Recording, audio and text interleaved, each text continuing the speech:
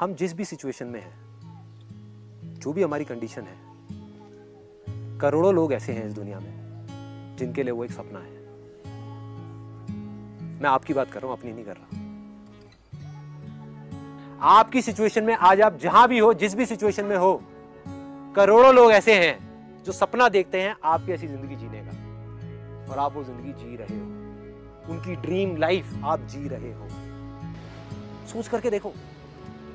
I am telling you honestly ऐसे बहुत सारे लोग हैं इस दुनिया में, गाँव में जाओ इंडिया की अलग अलग जगहों पे जाओ, देखो लोगों के साथ क्या क्या हो रहा है। एक बार देखो लोग कैसी कैसी लाइफ कहाँ कहाँ जी रहे हैं। कैसे कैसे लोग कहाँ कहाँ मर रहे हैं, जिनके पास खाने के लिए पैसे नहीं है, जिनके पास कुछ नहीं है। गंदे वेस्ट में से निकल निकल के जो चीज़ें फेंक दी जाती है, वहाँ से निकल निकल के कूड़ेदान में से लोग खाना खा रहे हैं। अरे वो भी तो इंसान ही हमारे जैसे यार। कौन है वो? वो कभी नहीं सोचेंगे कि मेरे को संदीप महेश्वरी बनना है। बट अगर वो कभी आपकी ऐसी ज़िंदगी उनको मिल जाए लॉटरी लग गई ना उनकी। ज़िंदगी बन गई ना उनकी। सोच के देखो। तो आप फेलियर कहाँ हो यार? आप तो सक्सेसफुल हो। कोई इंसान अगर ज़िंदगी में कुछ करना चाहता है ना, या कुछ बनना चाहता है तो उसको जा करके ये बोलना कि तू ये नहीं कर सकता। उसकी हिम्मत को तोड़ना, उसकी उम्मीद को तोड़ना, एक बहुत बड़ा पाप है।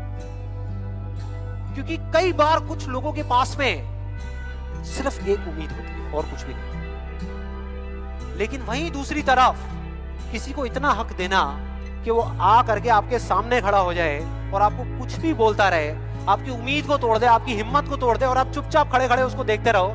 कुछ भी ना कहो, कुछ भी ना करो, ये उससे भी बड़ा पाप है।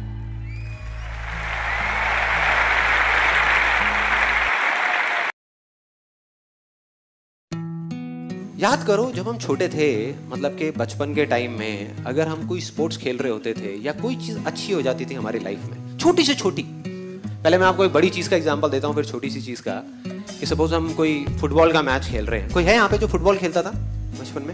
हाँ जैसे आप खेलते थे फुटबॉल तो आप फुटबॉल खेल रहे हो और सामने चार प्लेयर्स खड़े हैं, और उधर गोलकीपर भी है।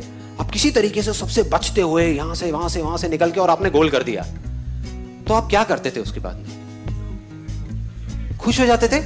खुल के सेलिब्रेट करते थे? ऐसे तो नहीं ना, यार, ये गोल तो हो गया, अगला पता नहीं होगा नहीं होगा। ऐसे तो नहीं करते थे? अरे, मारा और उसके बाद में झूमते हुए आ रहे हैं। यस, मज़ा आ गया, अपनी पूरी टीम से गले मिल रहे हैं और खुशियाँ मना रहे हैं सेलिब्रेट कर रहे हैं। खुल करके। ये तो हो गया बड़ी सी बड़ी चीज़। छोटी सी छोटी चीज़ कि घर में आप बैठे हो, अपने दोस्तों के साथ में खेल रहे हो और आपके एक दोस्त की निक्कर उतर गई। पाँच मिनट तक हँसते रहते थे। बड़ों को समझ नहीं आती थी ये बातें। वो आगरा कहते थे क्या पागल है क्या? क्या कर रहा है? और हम हंसे जा रहे हैं। उसकी निक्कर शेम शेम शेम शेम अगर किसी तरीके से यहाँ पर बैठे हुए हम जितने भी लोग हैं इमेजिन करो, एक बार कोई हाइपोथेटिकल सिचुएशन आपके अंदर से डर निकल जाए फेलियर का। डर निकल जाए कामयाब ना होने का तो कोई रोक सकता है आपको कामयाब होने से? सोच के देखो। एक क्रिकेटर है, उसके अंदर से डर निकल जाए आउट होने का। उसको कोई आउट कर सकता है? हा?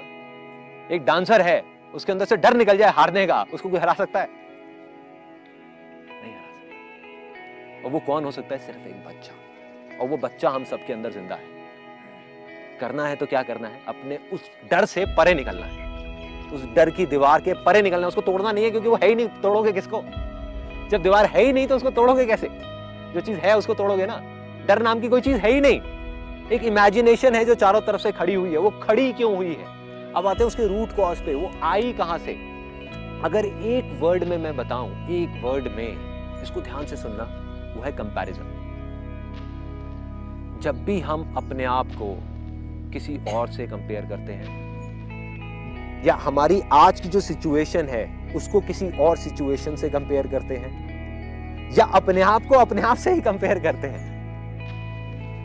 ये तीन वजहें हैं। इसके अलावा कोई चौथी वजह नहीं अगर इन तीन वजहों को हम समझ जाएँ और इसको समझ करके अगर हम इसके परे निकल जाएँ तो डर नाम की चीज़ खत्म।